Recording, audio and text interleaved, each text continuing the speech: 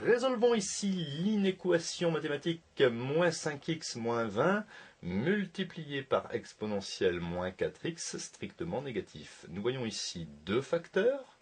Nous allons donc faire un tableau de signes. Dans la première ligne, je vais mettre moins 5x moins 20.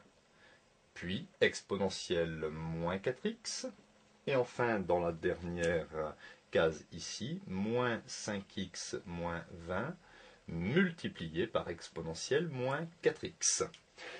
Pour avoir le signe de moins 5x moins 20, nous allons faire ici quand est-ce que moins 5x moins 20 est strictement positif? Je transpose le moins 20 à droite, moins 5x supérieur à plus 20.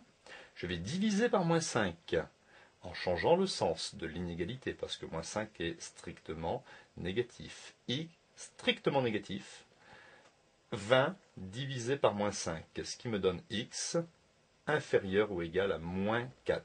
Ainsi, je peux dire que pour les valeurs de x plus petites que moins 4, hein, c'est-à-dire ici, moins 5x plus 20 sera strictement positif. Pour les valeurs de x plus petites que moins 4, moins 5x moins 20 sera strictement positif ici, par déduction négatif. Exponentielle moins 4x, hein, c'est un nombre strictement positif. Ainsi, 1 plus multiplié par 1 plus dans cette zone me donne 1 plus. Et dans cette zone-ci, un moins multiplié par 1 plus me donne moins.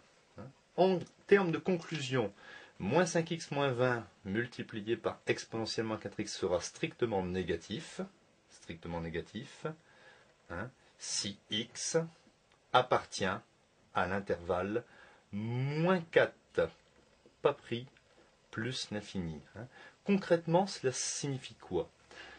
Ça veut dire que si vous prenez, si vous imaginez une valeur de x strictement plus grande que moins 4, par exemple 8, et que vous remplacez x par 8, le résultat calculé ici sera strictement négatif.